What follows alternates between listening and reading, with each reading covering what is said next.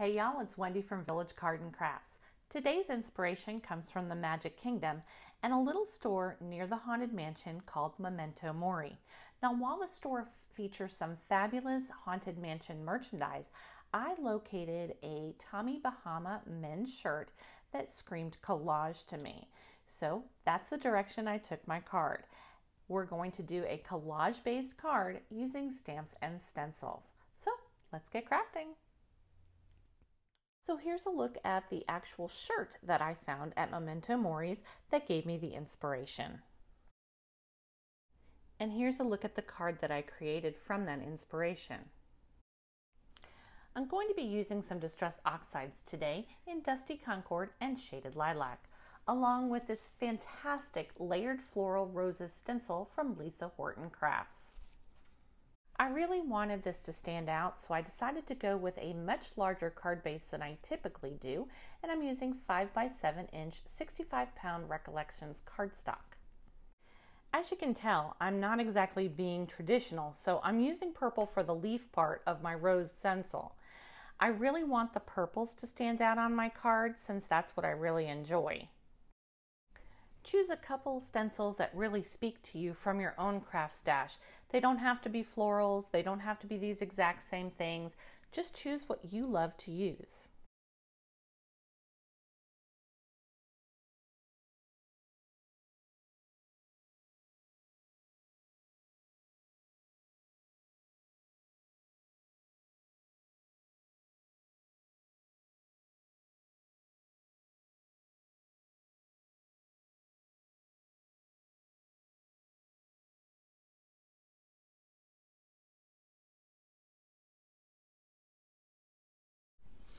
The next stencil I'm using is a Waverly Floral Ornate stencil, and I've chosen to do this one in Wilted Violet Distress Oxide ink.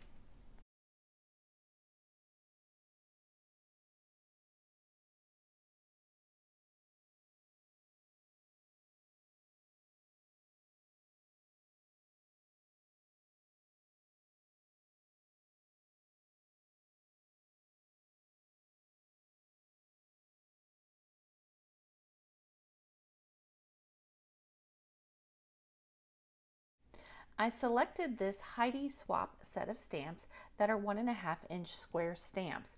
Now they're rather just indistinct background noise, little dots, indistinct script writing, uh, a postmark, that type of thing.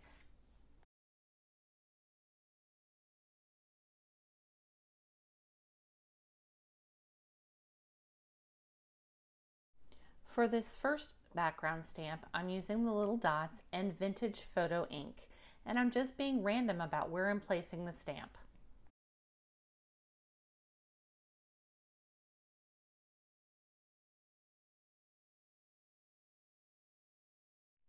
If you find this video helpful or enjoyable in any way, please give me some pixie dust by giving me a thumbs up, subscribing, and ringing that notification bell. This next stamp is a little script stamp that I haven't used before. So I just kind of rough up the surface with that little eraser there. And then I'm using Crackling Campfire, I believe, to again randomly stamp across my background.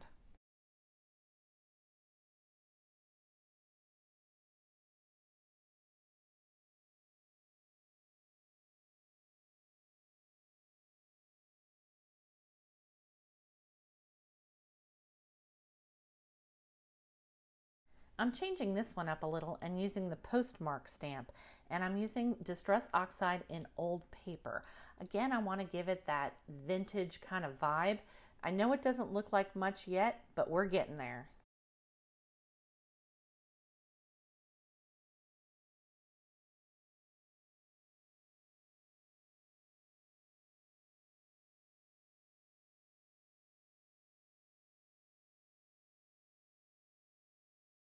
A quick look through my stencils and I've selected this Tim Holtz kind of cracked stencil and I'm going to use that with some crushed olive distress oxide ink.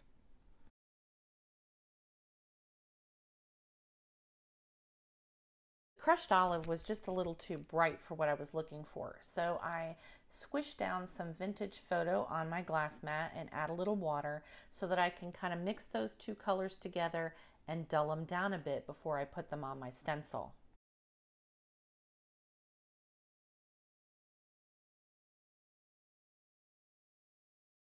At this point in my card, it's all about building that base layer. So I am putting that crackle stencil over top of my stamps as well as my other stencils. And I've selected another stencil. This one is a Tim Holtz stencil that starts with little circles and goes to larger circles and then into diamonds. So I am choosing to use ground espresso to add some depth to my background.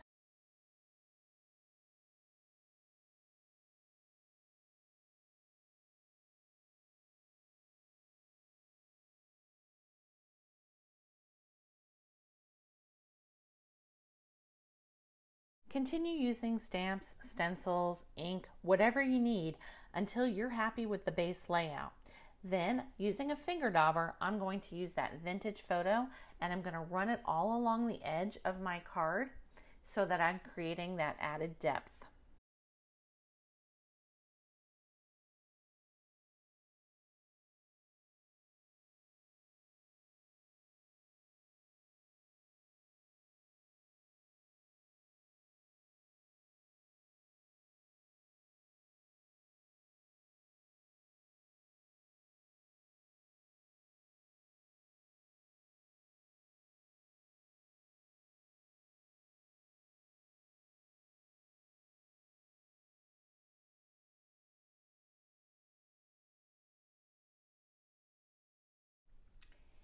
Now I've got a couple of leftover pieces of background material that I made and I'll link the video. Y'all, this was so much fun. This was photo paper and ink and I had an absolute blast. I particularly love this one background that I am going to use for a butterfly. And the die set that I'm using is a Momenta die set and it is Build a Butterfly. So I'm using the whole butterfly outline along with its shadow. So I've decided to put my most intricate part of the butterfly over some of that greens and reds. It's, oh my gosh, it's gorgeous.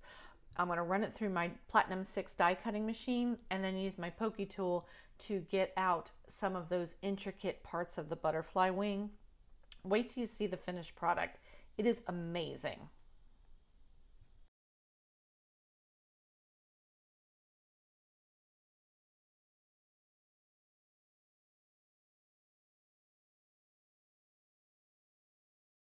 I have cut an additional solid image because I'm going to place that behind the open intricacy of the butterfly wing. Y'all, this is absolutely stunning. I just can't get over how this photo paper looks. I'm going to use Precision Bearly Art glue and I'm just going to put some down the center of my butterfly because I want the wings to be loose on the card. And the same thing for the top layer.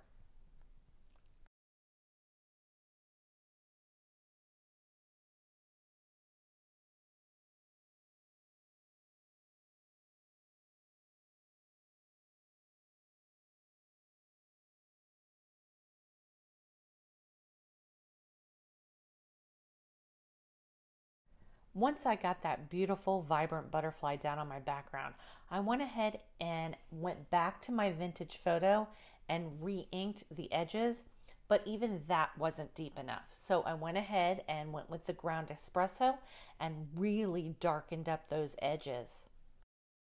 The ground espresso was really the magic on this card. I really wanted those deep, dark edges to kind of give it that vintage vibe.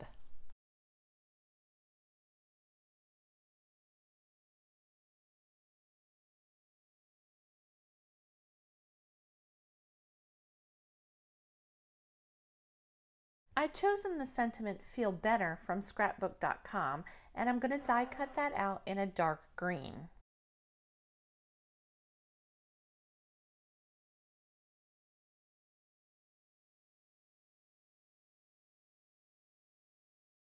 Continue my purple vibe, I die cut the shadow part of the sentiment out in purple and I'm going to use some Distress Oxide along the edges to kind of dirty it up and kind of continue on with the same look that the rest of the card already has.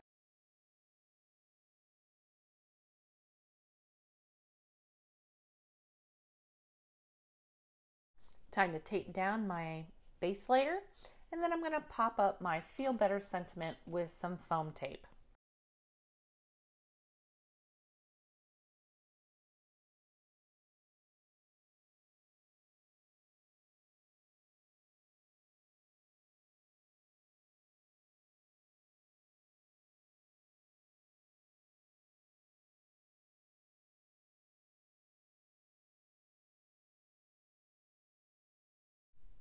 I finished this card by using glossy accents on my sentiment and then using pops of color throughout the card. I had so much fun making this Disney inspired collage card made with stamps and stencils tonight. That butterfly is amazing. I absolutely loved making glossy photo paper uh, backgrounds with ink, and I will share that video with you at the very end. I also made another card that is very similar but much more muted that I'm going to show you. The butterfly on that particular card is made with a shaving cream technique. If you're interested in seeing that technique, let me know in the comments below and I'll make a video for that one as well. Uh, I am trying to reach my first 100 subscribers and I would love for you to join me in my community. Thank you very much. I appreciate you and I will see you real soon.